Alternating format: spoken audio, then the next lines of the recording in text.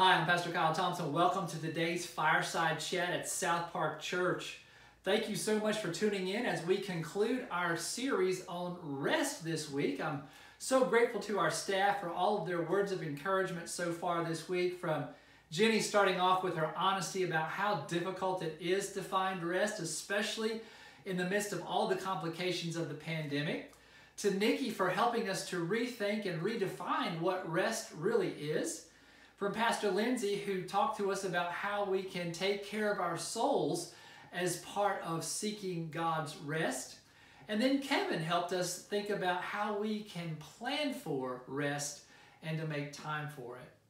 I have to admit that I have not been the poster child for rest over the past few months in the midst of this pandemic. My wife Laura even said that I've been a huge stress ball, and I don't think I'm alone in that. I just don't want to be a hypocrite today to say that I've got it all figured out.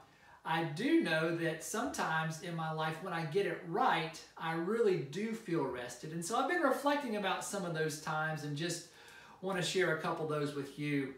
I find that when I'm able to start out my day, just a few minutes grabbing a personal time with God to read some scripture or to pray or to read a devotion, that that restful moment with God carries me through the rest of the day, especially when I run into stress. And if I miss that time in the morning of kicking off my time with God, just dive right into to some of the stressful things that might be happening, I that rest can be elusive and that can be a very difficult day.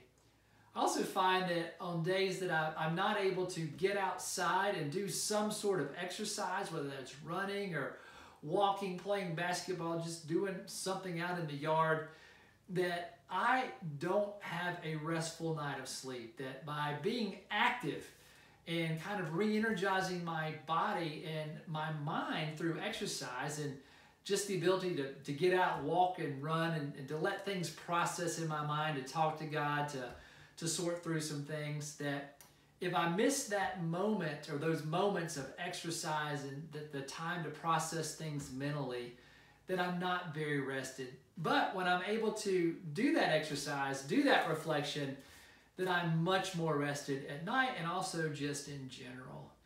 Another thing that really kind of restores my soul and, and, and rest is just spending time with my family. I'm grateful that I've been sequestered with my wife and two boys, and I know that not all of us uh, have that same experience, but when we're able just to sit down and, and spend time with each other to laugh or play a video game or be outside together, that also is a moment of rest for my soul, rest for my spirit. And so those are the times that I get it right. But a lot of times when I don't make those things priorities, I do become that stress ball and I'm no fun to be around and I'm not living quite the life to the full that I think God wants us to live. So I think God gives us the opportunities. We just have to identify what it is that feeds our spirits, what it is that, that feeds our rest, and make time for it. Just like we've heard throughout this week, I think uh, God's been bringing all five of these messages together. And what really kind of anchors it for me is that God models this for us. God models this for us very clearly in the scripture from the first book of the Bible, Genesis, where God has created everything. And what does God do immediately after God has done all that work? God rests. God takes time off. God takes time away.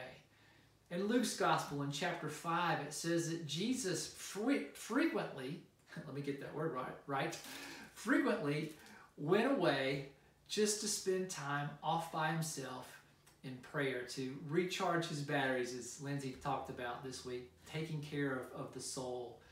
And so, God, if you know Jesus, Son of God, God Himself, if if if it's important for God to rest and God makes it a priority, then that's something that I think that you and I can give ourselves permission to do and not feel guilty about it. And yeah, sometimes we'll get it right, sometimes we won't. I don't think we need to beat ourselves up if, if we haven't been finding good rest.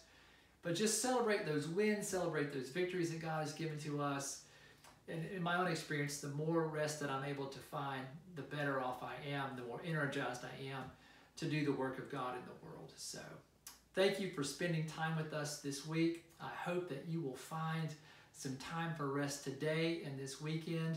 and that God will bless you. In the name of the Father, and of the Son, and of the Holy Spirit.